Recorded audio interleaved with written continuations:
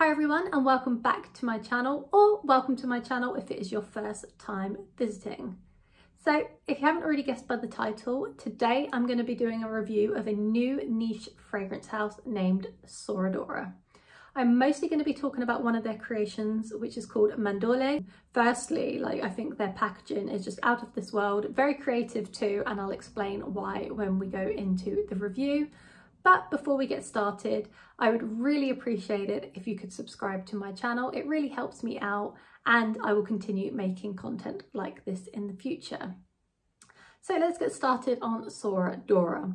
Have you heard of this brand already? Or have you tried this brand? I would love to know in the comments below.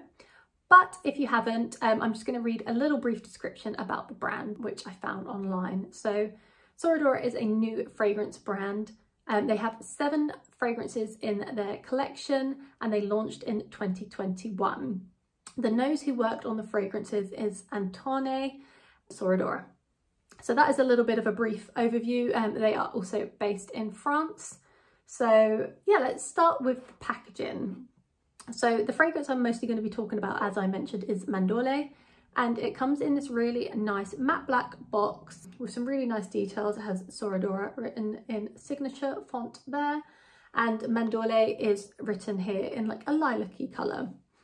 And the reason why I said that I really like the packaging is one, I think the aesthetic is beautiful. They come in these really nice cube shaped bottles, which means they will layer really well together on a shelf but the really cool thing about it is the Soradora logo on the top has a different colour depending on which fragrance it is.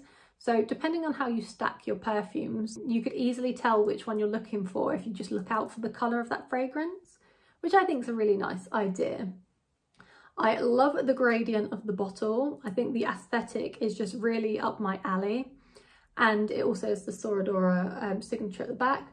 But one of my favourite things about the actual aesthetic is the marble caps. I think they're absolutely beautiful. Hopefully it shows on this camera. It's a really nice luxury experience, but I think it's a modern, fresh take and the aesthetic is definitely top notch. But most importantly, let's get on to the actual fragrance. So Mandorle notes are just a dream come true for me. I read them online and I just knew I had to try this fragrance. But you never know what you're going to get just because the notes sound a certain way online doesn't mean it's necessarily going to smell exactly how you expect it to. And this one blew my expectations out of the water. I am continuously sniffing this. I'm going back and forth, back and forth, spraying it, like over spraying it because I just can't get enough. So if you haven't already guessed, I adore Mandorle. I think it is going to be a huge hit this autumn winter. I've started to see a few more people talk about it um, recently and I do think it's going to become a firm favourite in the niche category. And yeah, I just, it's mind-blowingly good. You totally don't need as many sprays as this. It is an extrait but like I said, I am just super, super obsessed. So let's get the notes up.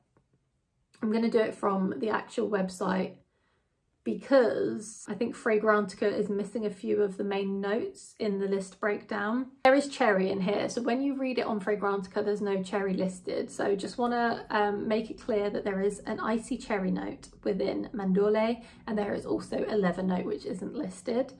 There is also almond and cacao absolute, tonka, heliotrope, rum, suede, cashmere wood, vanilla, caramel, fused wood, and white musk. And if I have not sold you on those fragrance notes, then I don't know how else to do it because they are kind of my dream notes pretty much. Um, the only thing that could have like been added to make it like literally my dream note breakdown would have been either raspberry, which I absolutely adore in fragrances, and also nutmeg, but this is just mind-blowingly good. I normally don't really like fragrances with cherry in them. It's very rare that I find one that I think is done in a way that is beautiful and timeless. It is gourmand, but it's not sickly sweet in my opinion. The cherry in the opening, let me just spray it on a strip quickly. So you really do get the cherry in the opening. But for me, and it's how I described it on my Instagram post I did yesterday. Um, if you want to see that, go over to my Instagram. It's I'll pop the link below. But to me, it smells like an amaretto sour with a garnish of cherry. So I don't know if you've ever tried that drink. In the UK, you have Disaronno and it could be like a Disaronno and Coke with cherry or it also reminds me of I don't know if you've ever had those little liqueur, cherry liqueur chocolates. It reminds me of that too. So you get the cherry right up the top. I really pick out the almond and tonka and I think it's absolutely delicious. But as it starts to settle, that's where the suede comes out and it really balances this fragrance down from being just like a sweet kind of cherry tonka almond fragrance. So I just think it's done really, really well and I think it's perfectly unisex.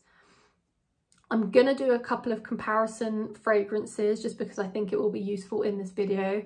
I talked about it on my Instagram and I had a few comments actually asking about the comparisons. So it has a slight similarity to Parfums de Marly Herod, definitely. I would say this one has slightly more cherry in it and is a little bit sweeter personally.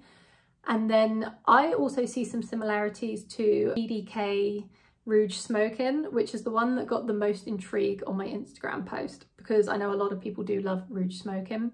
Now, I'd say there's only about 60% resemblance. I mentioned that Rouge Smoking has more of a powdery tonka note. It's very tonka heavy whereas I think the cherry is much more tart um, in Mandorle and then obviously you have the nice notes of like suede and leather that really balance it out so they're not like similar as such but they're in the same category so if you do like those types of fragrances I think you absolutely love Mandorle so yeah this is a 50 ml bottle I don't want to hype it up any more than I already have but I have to say this is probably my favourite launch of 2021. It's definitely up there in the fragrances that I'm going to be absolutely wearing the most in autumn winter. Longevity on me is pretty good. I definitely got at least eight hours yesterday, but on the clothes it will last a lot longer.